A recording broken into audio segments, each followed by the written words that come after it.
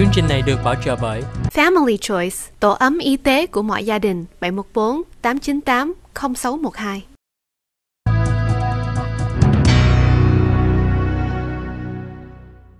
Quý vị có thể tiếp tục gọi vào đài qua cái số điện thoại ở trên màn ảnh của đài là 714 à, 893 3264 thì chúng tôi sẽ tuần tự trả lời câu hỏi của quý vị.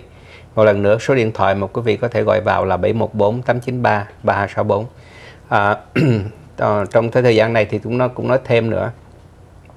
Thường đó thì à, quý vị nếu mà có những cái 401k đó thì nên giữ cái 401k của mình không nên chuyển đi tại vì khi mình giữ đó những cái số tiền trong 401k mình đó không có bất cứ ai không có một cái chủ nợ nào ngay cả chính phủ cũng không có vượt đụng tới cái 401k của mình. Một khi mình chuyển đi đó thì họ có thể đụng vào được. Thành ra mình nên giữ lại.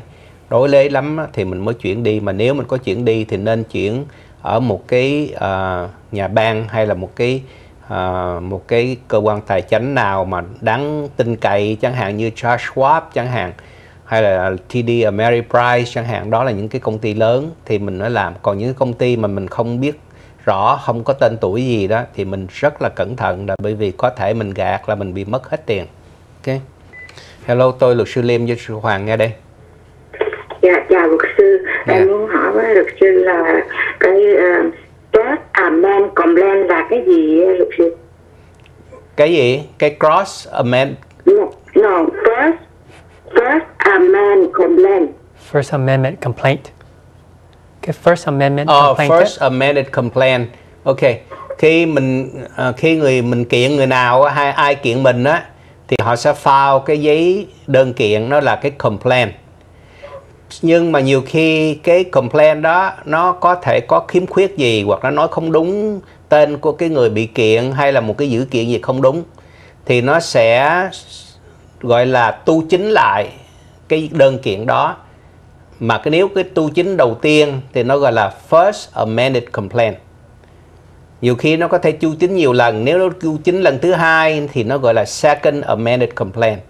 Và cái tu chính đó có thể là được tự nguyện bởi cái người luật, bởi cái người nguyên đơn, họ tu chính trước khi mà cái đơn kiện nó được trả lời.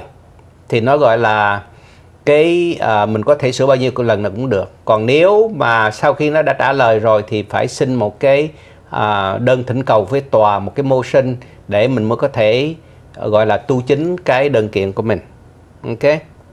Ok cảm ơn em. Hello à, tôi luật sư liêm với luật sư hoàng nghe đây. Dạ, chào luật sư Liêm.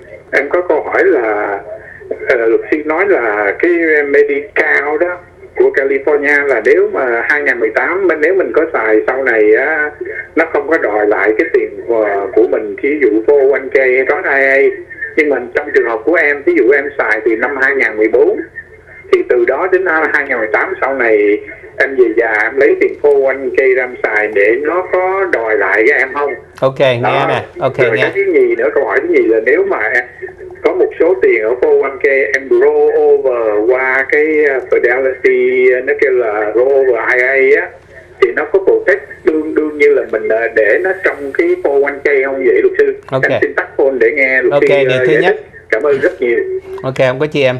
Điều thứ nhất á, là năm 2018 vậy đó, luật 2 tháng Giêng 2015 thì đó cái ờ, chính phủ tiểu bang California nói rằng những người hưởng Medical á nếu mà họ qua đời mà họ có cái living trust hay là cái tài sản của họ không phải qua cái thủ tục probate thì chính phủ sẽ không bắt họ phải trả lại những cái số tiền mà chính phủ đã giúp họ khi mà họ còn sống do những cái dịch vụ medical mà họ nhận được. Ví dụ như phải vô nursing home hay là họ nhận những cái trợ cấp hay là những cái những cái um, chữa bệnh chẳng hạn bác sĩ gì đó à, qua những cái à, những cái quyền lợi của medical đó là từ tháng giêng 2015 còn đối với lại những cái 401k của em đó thì 401k đó thì em phải để ai là được hưởng? Thì khi em qua đời thì người đó sẽ được hưởng ok? Thì thường đó 401k nếu mình có thể giữ được thì không ai có thể đụng tới được.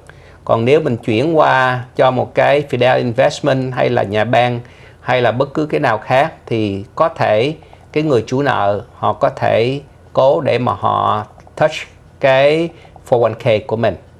Thì do đó mình cũng phải uh, nó hơi khó khăn hơn cho mình để mình bảo vệ cái 401k đó. Đương nhiên nếu mình chuyển đi thì mình phải khi cái số tiền trong 401k đó là cái số tiền chưa đóng thuế. Do đó bất cứ khi mình chuyển đi lý do gì thì chuyển qua Fidelity Investment hay chuyển qua cái IRA ở một nhà bang thì mình phải gọi là roll over tức là mình phải trực tiếp chuyển cái số tiền đó vào trong cái bank account hay là một cái investment account. Trực tiếp thì mới có không có bị đóng thuế.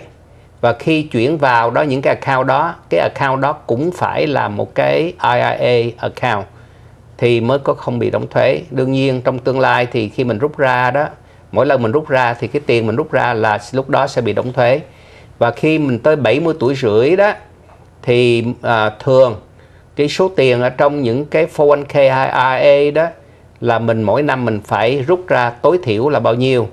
À, mình có thể rút ra nhiều hơn không ai cấm hết á. Nhưng mình sẽ phải rút ra tối thiểu. Nó sẽ tính ra chẳng hạn mình có cái life expectancy và cái số tiền mình là bao nhiêu thì có thể mình phải rút ra năm mười mười mấy năm gì chẳng hạn từ từ ra. Đương nhiên đó cái uh, cái plan administrator hoặc là cái nhà bang hay là cái investment company mà mình có đó thường họ sẽ cho mình biết là mình phải rút tối thiểu bao nhiêu. Thì cũng không phải lo đâu họ sẽ cho mình biết. À, chỉ có cái là nếu mình không rút cái số tiền tối thiểu á thì mình có thể bị bị phạt 50% ở cái số tiền lẽ ra mình phải rút.